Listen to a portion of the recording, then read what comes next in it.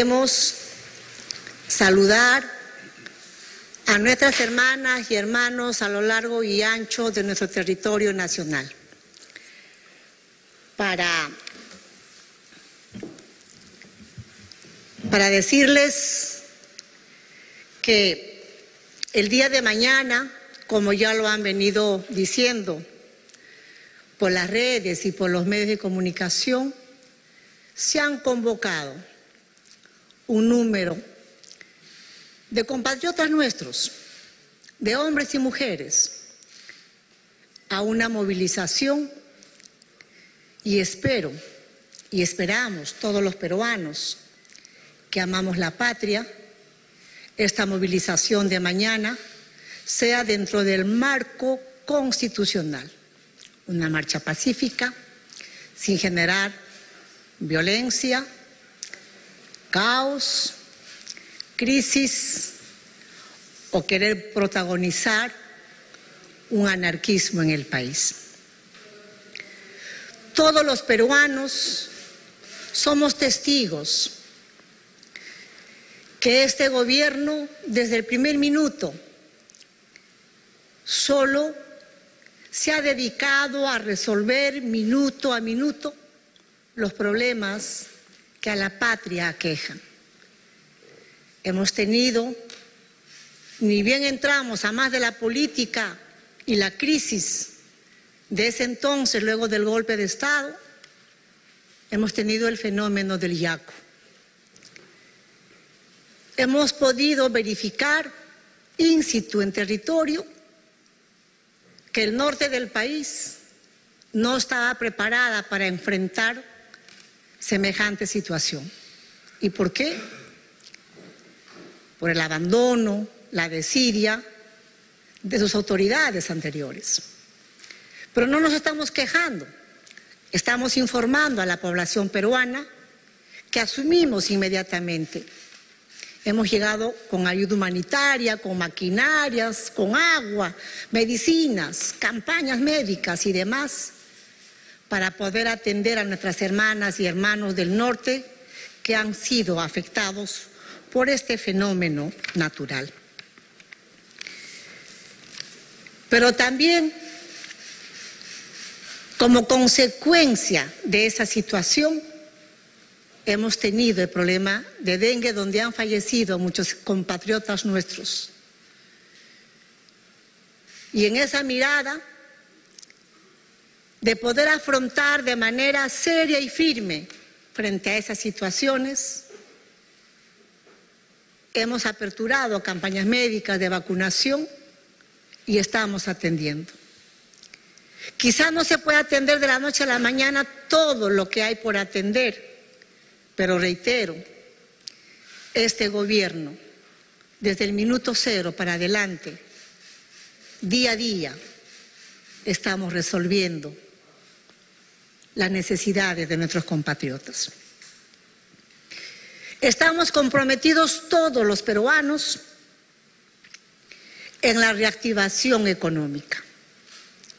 Es por eso que inmediatamente a través del programa Punche Perú hemos entrado a algunas regiones, a más de los presupuestos que tienen los gobiernos regionales, locales o los ministerios, este Punche Perú ha sido un adicional para poder rápidamente inyectar dinero a la infraestructura del Estado. Y lo estamos haciendo de manera honesta y transparente. En el curso de ese escenario,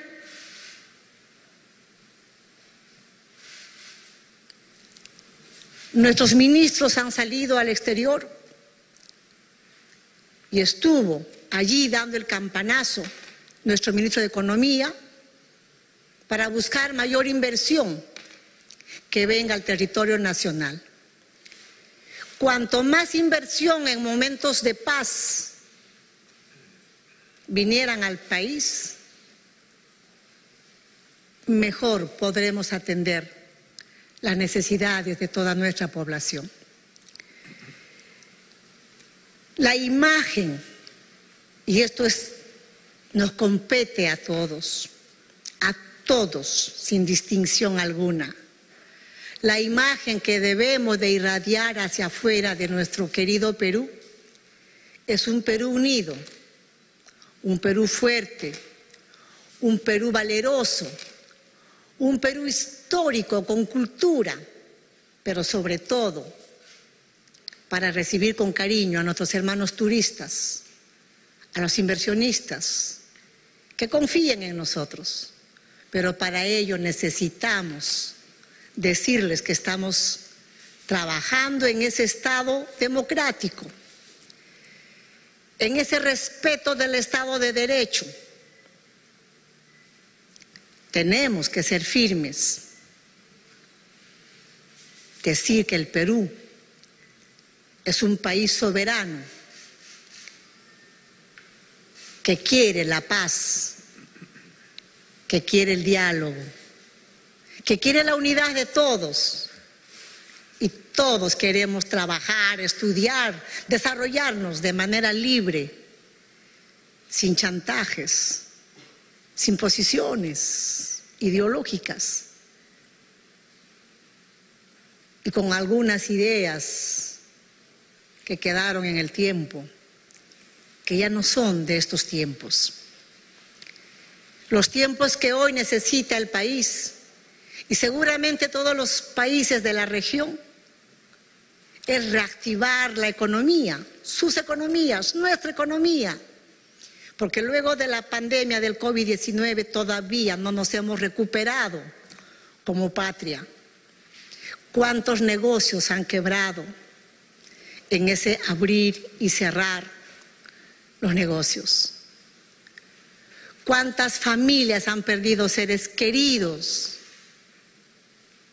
porque no se ha tenido la asistencia de hospitales, clínicas, para poder atender el COVID-19? Nos estábamos recuperando de ello y hay que seguir haciéndolo con dedicación, con tesón, con hidalguía, pero sobre todo en calma y en paz. La Constitución ampara las marchas pacíficas y nosotros como gobierno las respetamos y siempre las hemos respetado. Dentro del marco constitucional, dentro del marco de los derechos humanos. Sabemos que las protestas violentas de enero, diciembre, enero, febrero, han generado caos, crisis, con una demanda política no entendida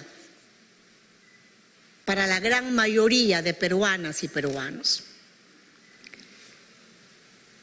Y esa agenda política de estos primeros meses de gobierno eran cinco puntos bien claros. Uno, cierre del Congreso, situación que no depende del Ejecutivo. Dos, adelanto de elecciones.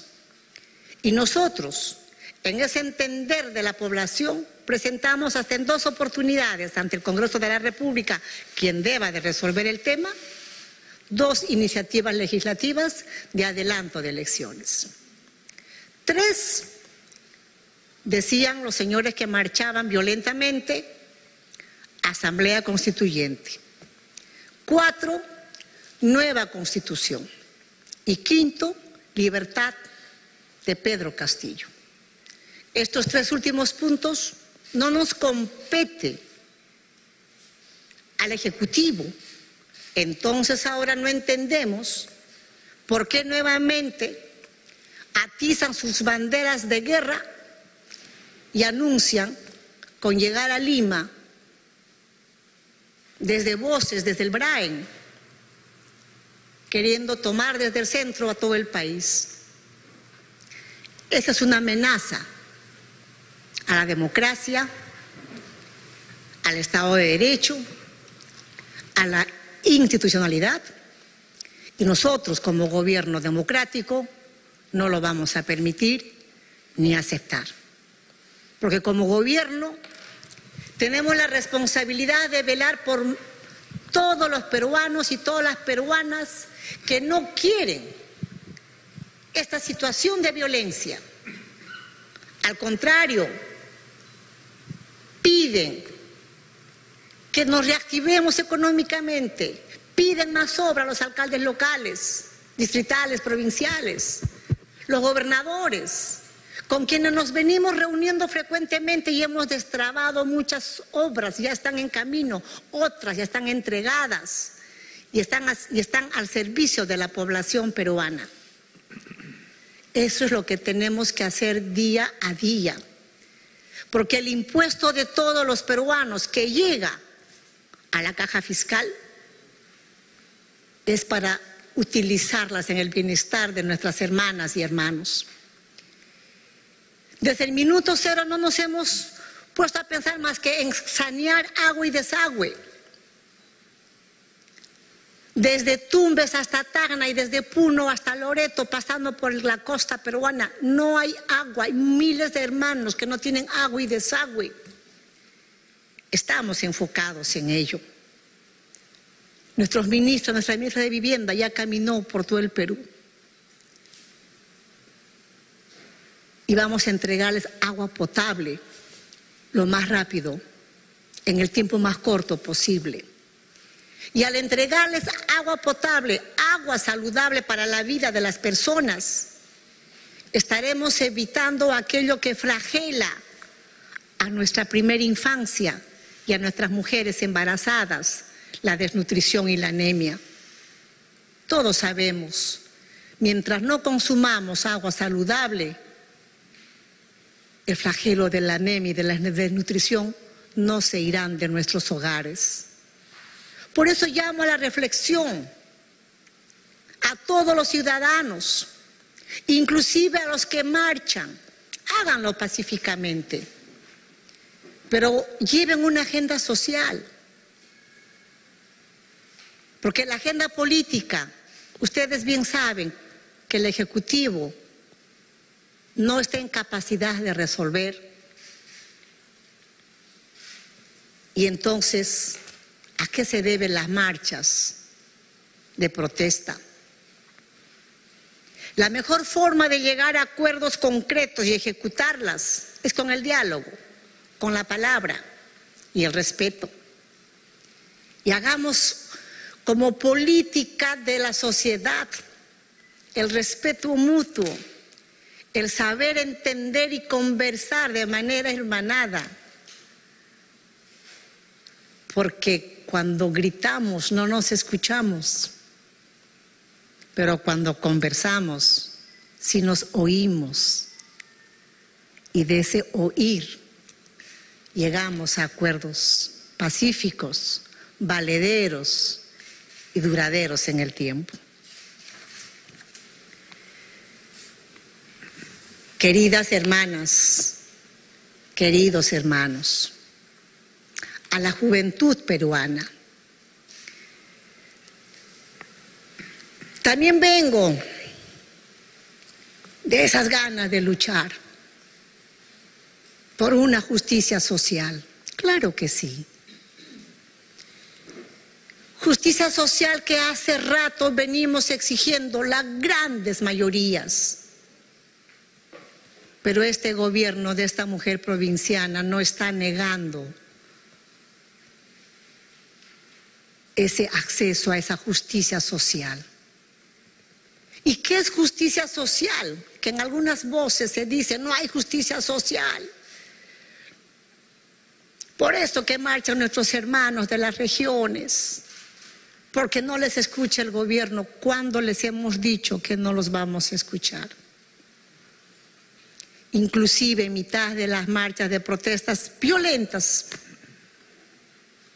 hemos llegado a las regiones donde nuestros hermanos estaban movilizando a buscar el diálogo, a buscar atenderlos. Acá ya vinieron varias autoridades y muchos de ellos Parcialmente ya se ha resuelto el tema, por ejemplo, de las ambulancias, que no tenían los alcaldes ambulancias para poder trasladar a sus hermanas y hermanos a los hospitales principales. Ahora ya los tienen y pueden acortar la distancia para salvar vidas. De eso se trata, hermanas y hermanos, de solucionar día a día los problemas que nos aquejan de años y de años. Nosotros no vamos a quedarnos en el intento. Nosotros no estamos preocupados en otros vaivenes de corrupción para distraer nuestra mente y nuestra atención ahí. Nosotros estamos enfocados en querer resolver los problemas trascendentales del Perú, históricamente no atendidos. Reitero, como es el tema de agua y de desagüe. Pero así como es el tema de agua y de desagüe que históricamente no se han atendido, Tampoco se han atendido el tema de las escuelas. Ahí están abandonadas. En mitad de la pandemia no les dieron mantenimiento, año y medio cerradas. Y los que sabemos, una casa cerrada por tanto tiempo se cae si es que no se le da mantenimiento. Estamos ingresando a, eh, a arreglar, a resanar aquellas aquellos olvidos. Estamos haciendo aulas modulares mientras se construyan sus colegios que les dure para siempre. Estamos destrabando hospitales que estaban ahí, parados, por años, 12, 8, 10 años. En siete meses de gobierno hemos destrabado, ya hemos entregado al servicio de la comunidad. Ya los están utilizando. Estuve en Cañete entregando uno de los hospitales, en Atalaya hace poco, y el ministro de Salud sigue entregando hospitales.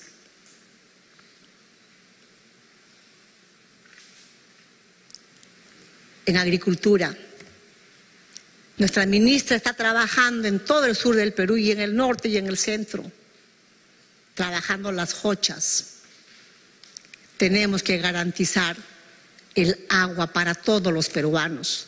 No solamente en el agua potable que les vengo diciendo, sino también en la agricultura y en la ganadería. Porque históricamente siempre han muerto en la época de sequía los alpacos, las llamas, las vicuñas, que está en nuestro escudo nacional. ¿Cómo podemos permitir que nuestro símbolo patrio no tenga agua? Y son cientos de vicuñas que mueren, y de alpacos, de llamas, de ovejas. La alpaca, la fibra natural que nosotros orgullosamente lo vendemos para afuera y nosotros aquí en el Perú nos ponemos. ¿Quién no se ha puesto una chompa de alpaca, unos guantes de alpaca, una bufanda de alpaca? ¿Y de dónde viene esa fibra natural? De los animales, de los camélidos que están sin agua. Hay que generar también tranquilidad para nuestros hermanos ganaderos, alpaqueros, agricultores. Y si no, ¿cómo nos alimentamos? Si es que no damos agua a las plantas, a los sembríos.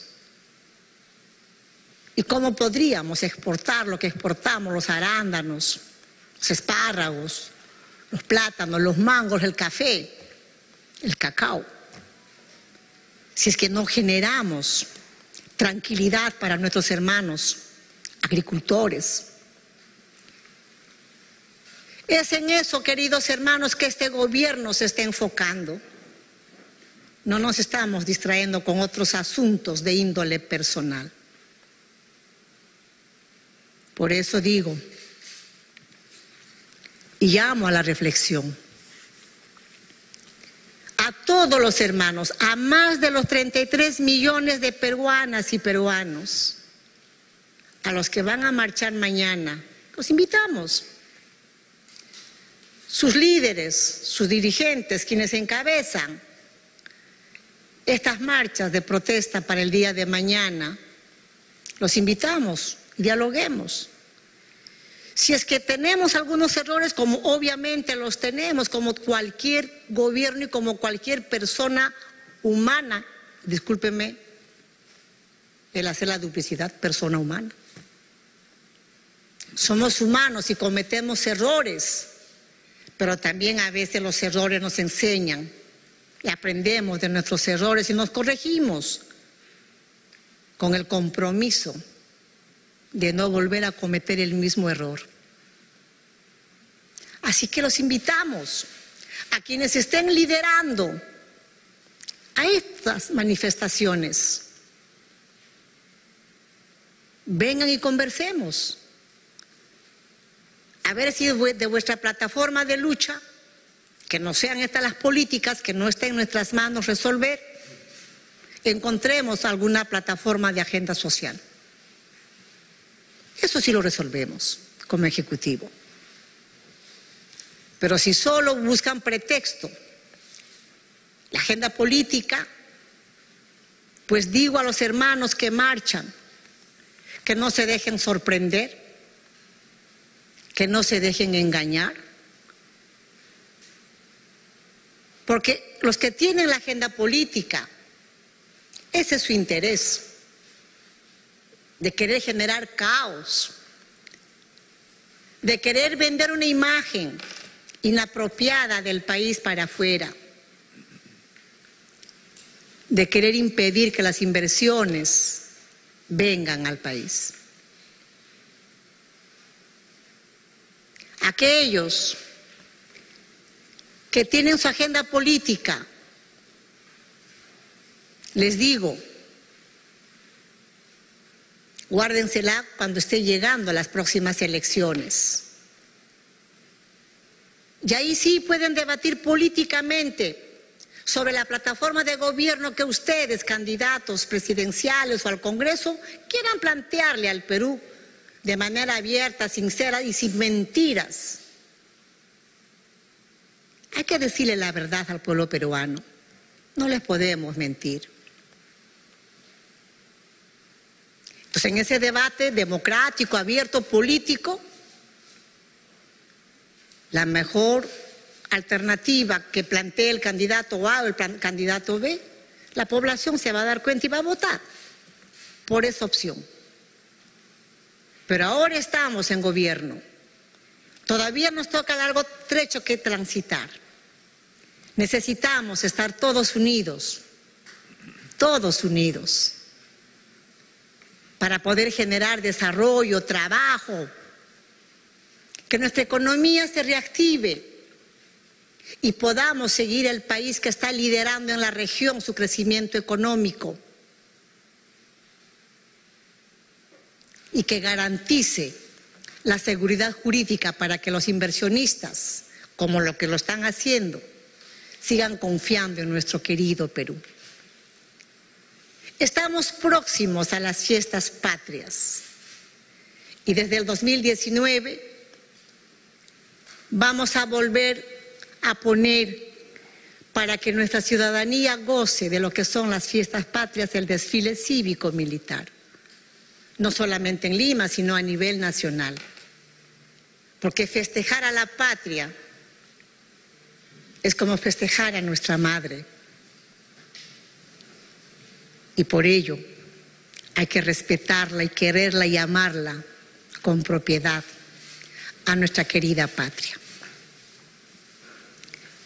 Respetaremos nosotros las marchas de protesta pacíficas pero también le decimos, actos de violencia no se van a permitir. Y aquí yo quiero hacer un llamado a la Fiscalía, a la Defensoría del Pueblo, a las Procuradurías, a que estén acompañando durante la marcha. para que podamos garantizar que éstas sean pacíficas, que éstas no violenten con el derecho ajeno. El derecho nuestro acaba ahí donde empieza el derecho del prójimo. Y tenemos que saber respetar. No se puede permitir que se agreda a nuestra Policía Nacional, que también son personas del pueblo, como todos nosotros, de todas las sangres. Ellos solo salen para cumplir con su deber, para proteger que estas manifestaciones se puedan encaminar dentro del marco constitucional. Señores de la prensa, hermanas, hermanos, como presidenta constitucional de la República, los llamo a unirnos en un solo corazón. Y en esa unidad trabajemos todos juntos por el desarrollo de nuestro país para atender las necesidades de nuestras hermanas y hermanos que todavía están en ese rango de vulnerables. Pues añoramos a no tener en adelante, conforme vamos avanzando en hacer gestión responsable, queremos sacarlos de ese estadio de vulnerabilidad. Queremos ciudadanos fuertes, valientes, económicamente activos, Queremos mujeres emprendedoras, jóvenes que encuentren el espacio laboral para poderse desarrollar. Finalmente, ya luego para pasar las palabras al Premier y a los ministros, llamo a la más amplia unidad a todas las peruanas y todos los peruanos, a todas las sangres, a todos nuestros hermanos del Perú profundo, de nuestra selva, de nuestra costa, de nuestro norte, centro y sur, a todos, a unirnos en un solo corazón. Unidos, todo. Desunidos, perdemos todos. Muchas gracias. La palabra Muchas gracias, de la presidenta, Dina Boluarte, quien hace el llamado a la unidad a todos los peruanos ante el anuncio de las movilizaciones que se tiene programado para... Bien, entonces escuchábamos el mensaje a la nación de la presidenta Dina Boluarte de cara a esta tercera toma de Lima. Vamos a citar parte de su discurso. Indicó lo siguiente, debemos irradiar la imagen de un Perú unido. Actos de violencia no se van a permitir. Respetamos las marchas dentro del marco constitucional. No se puede permitir que se agreda a la Policía Nacional del Perú. También en, otra parte de su mensaje indicó lo siguiente, no entendemos por qué nuevamente atizan banderas de guerra de cara a esta manifestación del día de mañana. Un llamado a las marchas pacíficas que lleven una agenda social a través del diálogo. Además, invitó a las personas que están liderando estas manifestaciones a acudir a Palacio de Gobierno, reunirse con ella y tratar las agendas sociales. Eh, otros datos para eh, indicar es que espera que sea la marcha pacífica sin generar violencia, caos y crisis. Ahora vamos a escuchar también a otros.